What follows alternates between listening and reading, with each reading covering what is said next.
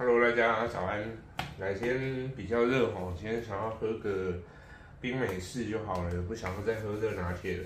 哦，那我前一阵子有拿店里在用的坚果巧克力配方的豆子回来了，哦，一大包，然后是六月八号烘的，今天是六一八，刚好十天了。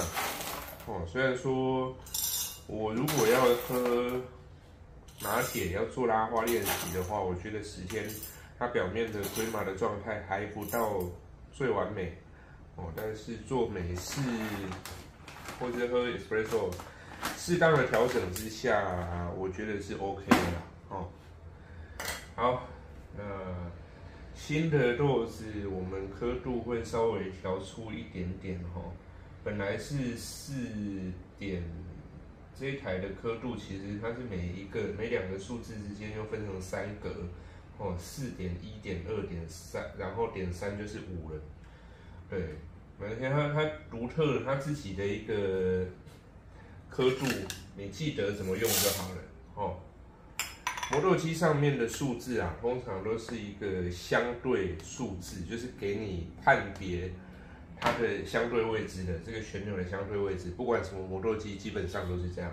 哦，就算你有好好的归零，其实每一台磨豆机它的一些细部的构造都会有一点不一样，所以我觉得尽量不要去太过于盲目的去使用别人的参数，找到自己的参数会比较好。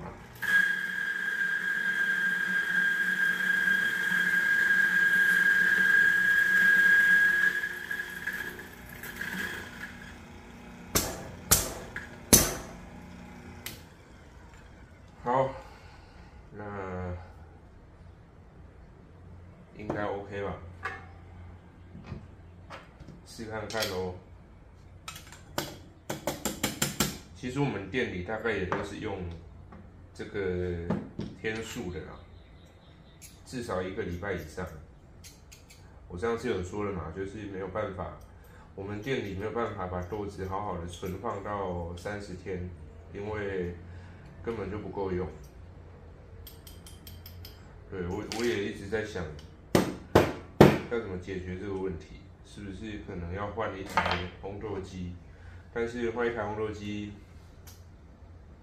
第一个就是钱呐，价格的问题啊。第二个就是要放哪里，都很麻烦。我工作室才刚又签了两年约，对啊。那另外就是，烘豆机真的蛮贵的。我们就是秉持着说，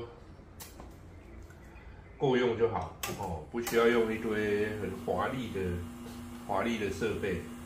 然后又因为如果我用一些很华丽的设备，到最后这些这些。我花掉的钱还是要灌回到消费者身上，其实我觉得好像没有什么意义啊，就大家都把钱花给别人，那到最后都不是留在自己身边，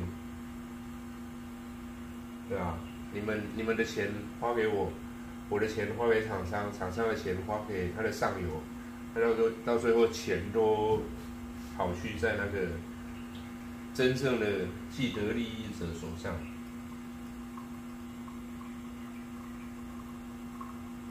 哎，萃取四十五秒好了。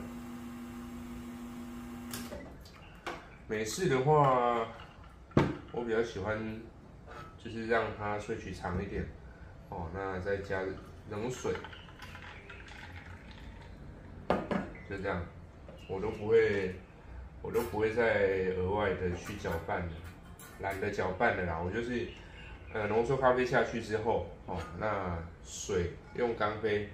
拉高一点，假装这样可以搅拌就好了，然后就开始喝了。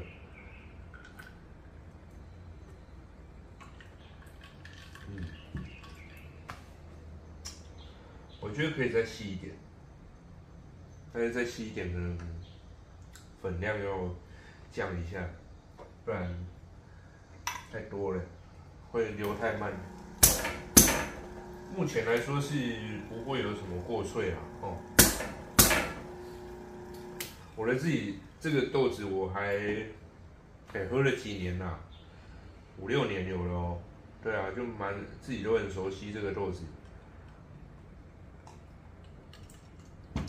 对，过脆的话就是在调嘛。好，哦，有一杯冰的咖啡真的是很好。好，那哎，晚上来洗一下咖啡机好了。我今天用手机接麦克风而已哦，所以你们可能觉得收音会有一些不太一样哦。因为相机昨天放在工作室忘了带回来，昨天直播完就就把它丢在那边，没有拿回来了。好，那今天就这样哦。今天要烘好多豆子，那个铁罐装的那个豆子上架了，然后呃快卖完了哦，所以昨天上架，然后今天快要卖完了，表示我等一下就要全部都把它烘掉。对，我通常会。豆子的东西，我通常会抓一个缓冲量啊，哦，为了避免说我豆子烘烘坏了，然后我可能生豆的量就这一些，所以我通常，呃，二十五我就会抓二十，那一百我可能就会抓八十的量这样卖，对，所以等一下可能还是要看一下数量要不要再改一下，哦，礼拜六大家在休假，我要去上班了，那今天就这样，好不好？拜拜。